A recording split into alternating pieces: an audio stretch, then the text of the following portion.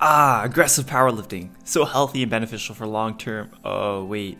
Oh, well, Look good, feel good, right fellas? So I have to say this was a pretty good comment because it is true. Now I'm not gonna say powerlifting alone, but most sports at a competitive level are not healthy long term. And what's a greater example than anything but professional bodybuilding with all the recent deaths? All of a sudden that look good, feel good mentality isn't so hot. And if you're referring to that's bodybuilding with steroids, sorry to break it to you, but also getting super shredded, crashing your natural testosterone, essentially reaching a state of starvation is definitely a lot healthier than taking a bunch of steroids and competing on a bodybuilding stage, but I wouldn't necessarily say that it's healthy. And I'm not really trying to bring down bodybuilding, I'm just saying that every competitive sport, powerlifting or bodybuilding, they have their negative consequences, especially if you're trying to take your body to the next level, trying to separate yourself from the rest, and to do what most aren't willing to do with their body,